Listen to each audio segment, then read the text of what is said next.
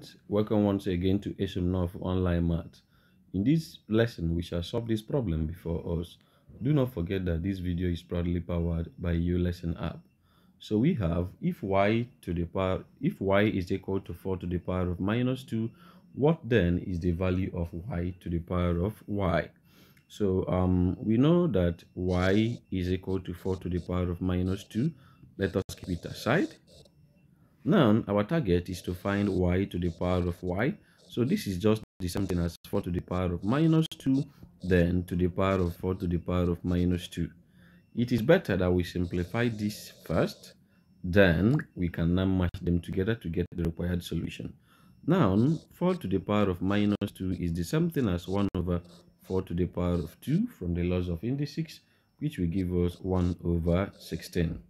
Therefore, y to the power of y. Will now be 4 to the power of um 4 to the power of uh, minus 2 then raised to the power of 1 over 16 so this will now be y to the power of y becomes 4 to the power of minus 2 over 16 which is equal to 4 to the power of minus 1 over 8 if you like you can still have that y power y is the same thing as 4 can be written as 2 power 2 then into minus 1 over 8. So that will still give us that y power y is equal to 2 to the power of minus 2 over 8, which is equal to 2 to the power of minus 1 over 4.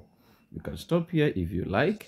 y to the power of y can become 1 over 2 to the power of 1 over 4, which can give us that y power y is equal to 1 over the fourth root of 2. You can stop here that is the nice solution to this particular problem.